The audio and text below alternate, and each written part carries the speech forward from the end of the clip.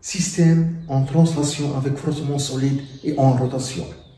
Un corps A de masse M1 égale 13,5 kg placé sur un plan incliné d'un angle θ égale 37 degrés est relié à un corps B suspendu de masse M2 égale 18 kg par une corde inextensible et de masse négligeable, passant sur une poulie de rayon R égale 22 cm et de moment d'inertie G delta égale 1,82 kg fois mètre carré. La surface a un coefficient de frottement mi égale 0,03. 1. Dans quel sens le système se déplacera-t-il lorsque les corps seront libérés de repos On donne G égale 10 mètres par seconde au carré? 2. Déterminer tension T1 et T2 des deux parties de la corde. 1. Le sens du déplacement du système.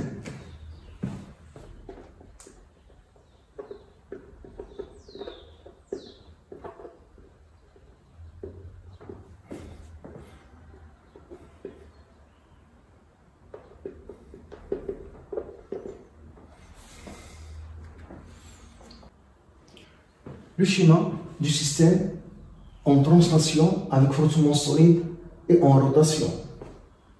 Au cours du mouvement du corps A, il est soumis à son poids P1, à la tension de la corde T1 et à la réaction de plan incliné R1. La réaction R1 est inclinée car il y a des frottements qui s'opposent au mouvement.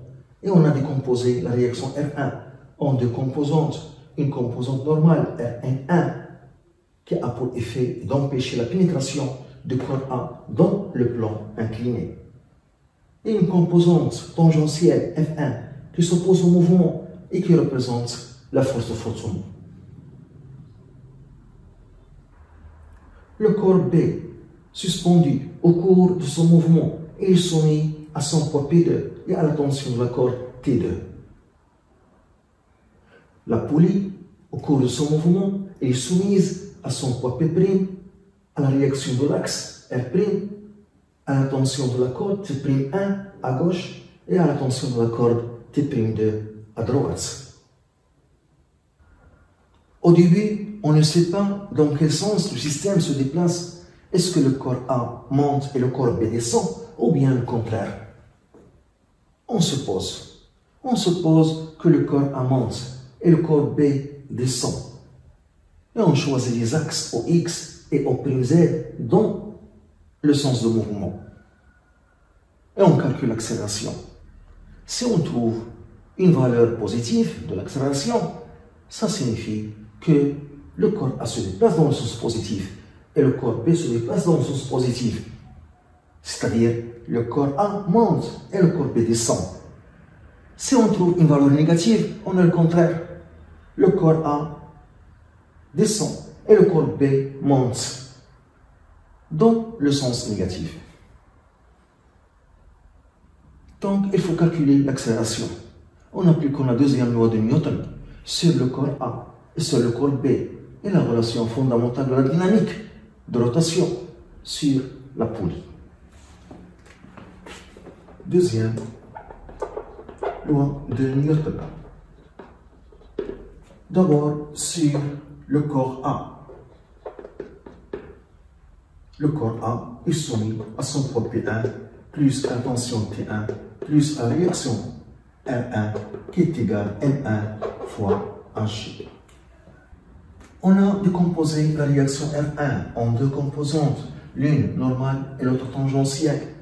Donc P1 plus T1 plus RN1 plus F1 est égal à M1 fois AG. Et on projette cette équation vectorielle sur l'axe OX par projection sur OX. On écrit P1X plus T1X plus R1X plus F1X est égal à M1 à X. La coordonnée P1x est obtenue par projection de poids P1 sur l'axe X? C'est ça la direction de l'axe X. La projection orthogonale, on doit avoir ici un autre droit. Ici sur l'origine, la projection dans cette longueur. sur l'axe OX, qui est le côté opposé de cet angle, qui est θ. Car le côté de l'angle θ, le premier côté, le deuxième côté, ce côté perpendiculaire au premier et ce côté perpendiculaire au deuxième. Donc ici, on a le angle θ. La projection, c'est le côté opposé du θ, qui est égal à l'hypoténuse, qui est P1 fois sinus θ. Mais la projection d'extrémité se trouve dans la région négative. Si je translate P1 ici, la projection d'extrémité se trouve dans la région négative. Donc la coordonnée P1x est négative. Donc c'est moins M1 G sinus θ. Plus la coordonnée T1x est obtenue par projection de la tension T1 sur l'axe X. La tension T1 se trouve sur l'axe X. La projection dans toute la longueur est T1 et I en même sens. Donc, la coordonnée T1x est positive. Donc, c'est T1. Plus, plus la coordonnée Rn1x est obtenue par projection de la composante Rn1 sur l'axe X. La composante Rn1 est perpendiculaire à l'axe X sa projection donne 0. Plus, la coordonnée F1x est obtenue par projection de la force de frottement F1 sur l'axe X. La projection donne toute la longueur, mais F1 et I en sens opposés. Donc la coordonnée F1x est négative, donc c'est moins F1 est égal à N1 fois AX. On cherche T1 d'abord, T1 égale. Donc, M1 fois AX plus F1 plus M1 fois G fois sinus de On précise, on précise l'intensité de la force de frottement F1. La force de frottement F1 est égale au coefficient de frottement scientifique fois la composante normale de réaction. Rn1 il faut chercher Rn1 par projection de la deuxième loi de Newton sur l'axe Y. Donc, on écrit P1Y plus T1Y plus R1Y plus F1Y est égal à N1 fois AY. La coordonnée P1Y est obtenue par projection de point P1 sur l'axe Y. C'est ça la direction de l'axe Y. Donc, la projection orthogonale, on doit avoir ici un angle droit. L'origine se trouve ici. Donc, on obtient cette longueur. Qui est le côté adjacent de θ Qui est égal à l'hypoténuse, qui est P1 fois cosinus θ. Et la projection d'extrémité se trouve dans la région négative. Donc, la coordonnée P1 est négative. Donc, c'est moins M1 G cosinus θ. Plus, plus la coordonnée T1 Y. La coordonnée T1Y est obtenue par projection de la tension T1 sur l'axe Y. La tension T1 est perpendiculaire à l'axe Y. Donc sa projection dans 0. Plus, plus la coordonnée RN1Y. La coordonnée RN1Y est obtenue par projection de la composante RN1 sur l'axe Y. La projection dans toute la longueur et la projection de l'extrémité de la composante Rn1 se trouve dans la région positive. Donc la coordonnée Rn1 Y est positive. Donc c'est Rn1 plus, plus F1Y. La coordonnée F1Y est obtenue par projection de la force de frottement F1 sur l'axe Y. La force de frottement F1 est perpendiculaire à l'axe Y. Sa projection dans 0 est égale.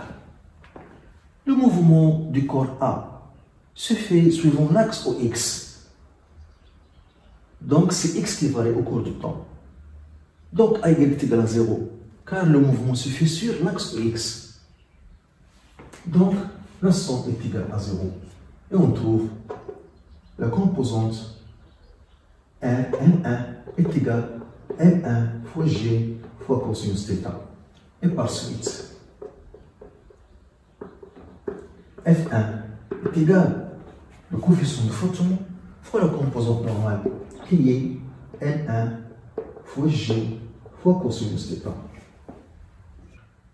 Et je remplace ici. Donc la tension T1 est égale à M1 fois AX plus plus mu fois M1 fois G fois cosinus θ plus N1 fois G fois sinus θ. Après ça, on applique la deuxième loi de Newton sur le corps B. Sur le corps B.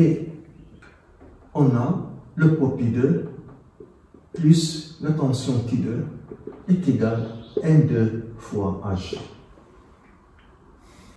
On projette cette équation vectorielle sur l'axe O' Z par projection sur O'Z. On écrit P2Z plus T2Z est égal à N2 fois AZ. La coordonnée P2Z est obtenue par projection de poids P2 sur l'axe OZ. La projection de poids P2 sur l'axe O'Z donne toute la longueur. Et le vecteur force P2 est K en même sens. Donc P2Z est positif. Donc c'est M2 fois J plus, plus T2Z. La coordonnée T2Z est obtenue par projection de la tension T2 sur l'axe O'Z. La projection donne toute la longueur. Mais la tension T2 est K en le sens opposé. Donc, la coordonnée T2Z est négative. Donc, c'est moins T2 est égal M2 fois AZ. À partir de cette équation, je tire T2. Donc T2 est égal à N2 fois G moins N2 fois AZ. Après ça, on applique maintenant la relation fondamentale de la dynamique de rotation sur la poly, qui est soumise à son poids P', à la réaction N' de l'axe à la tension de la corde à gauche T'1 à la tension de la corde à droite T'2. Relation fondamentale de la dynamique de rotation sur la poulie.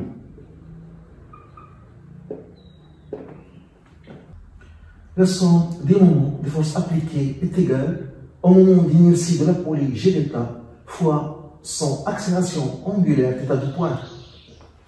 Donc le moment de poids P' par rapport à delta, plus le moment de la réaction de l'axe R' par rapport à delta, plus le moment de la tension T'1 de la corde à gauche, plus le moment de la tension de la corde T2 P' à droite par rapport à delta est égal à G delta fois θ de poids. Le moment de poids P' par rapport à delta le poids P' coupe l'axe delta. L'axe delta, c'est l'axe de rotation de la poulie. Donc, le moment de poids P' est égal à 0, car la droite d'action du poids P' coupe l'axe delta. Le moment de réaction R' de l'axe, la droite d'action la réaction R' coupe l'axe delta. Donc son moment est égal à 0. Plus le moment de la tension T'1 par rapport à delta. On voit d'abord que la tension T'1 tend à faire tourner la poulie dans le sens négatif, donc ce moment est négatif. Moins égal à l'intensité T'1 fois, fois la distance entre sa droite d'action et delta. Cette distance, c'est le rayon de la poulie R plus le moment de la tension T'2, on voit d'abord que la tension T'2 tend à faire tourner la poulie dans le sens positif, choisi. Donc ce moment est positif est égal à T'2 fois la distance entre sa droite d'action et delta. Cette distance R.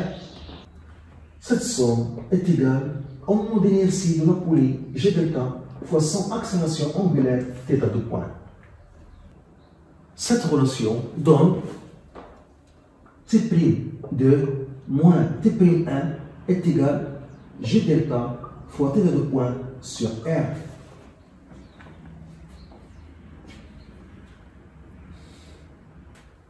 On a dit dans les données que la corde est inextensible est de masse négligeable. Puisque la corde est inextensible et de masse négligeable.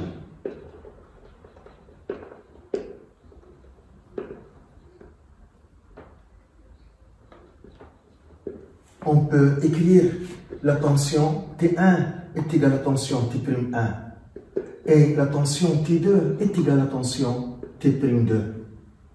Et on a aussi l'accélération AX est égale à R fois θ de point, relation qui relie la translation et la rotation.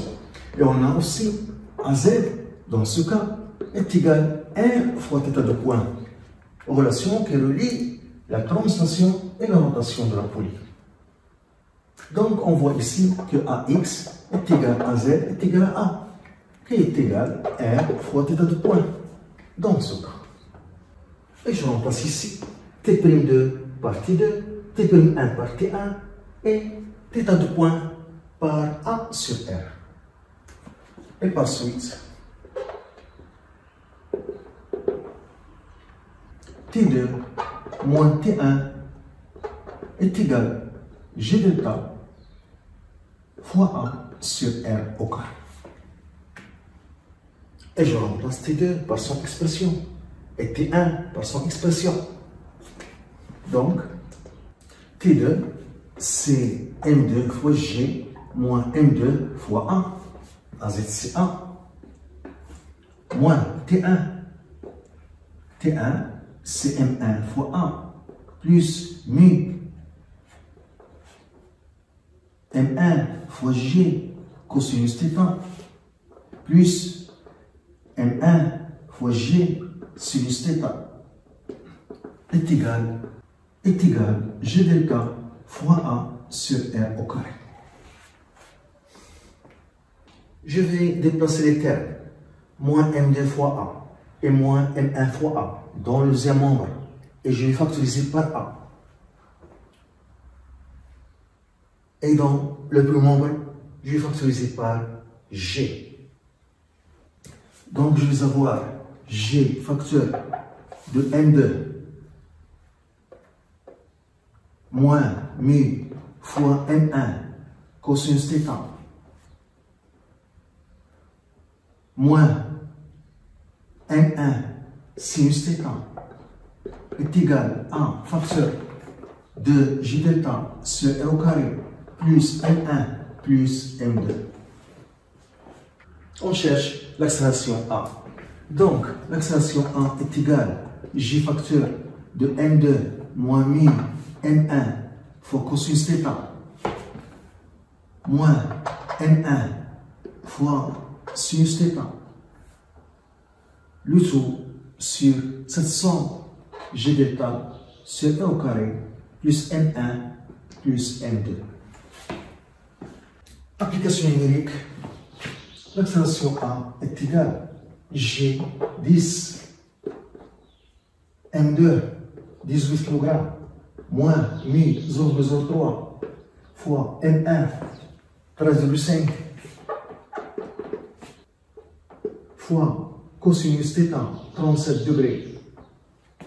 Moins M1 fois sinus 37 degrés sur. G delta 1,82 R 22 cm c'est 0,22 mètres au carré. Plus M1 13,5 plus M2 18 A égale. On trouve 1,38 mètres par seconde au carré. On a trouvé une valeur positive. Ça signifie que le corps A se déplace dans le sens positif et le corps B se déplace dans le sens positif. C'est-à-dire le corps A monte et le corps B descend. Et la poule tourne dans le sens positif. Donc, le système se déplace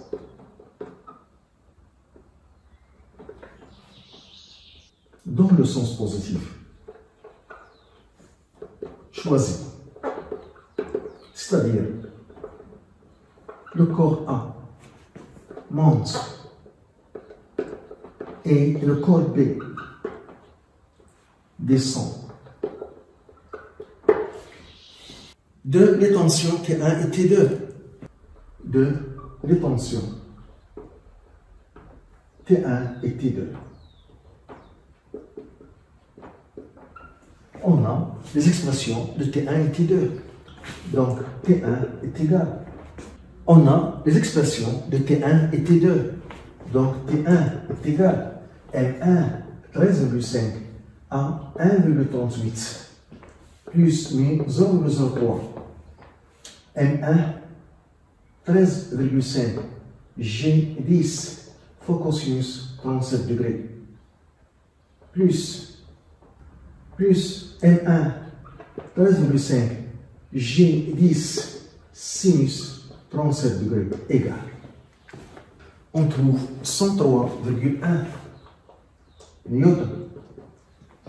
La tension T2, sans expression, N2, 18 kg, G10 moins 18 fois AZ qui est à 1,38 égal. On trouve 155 newtons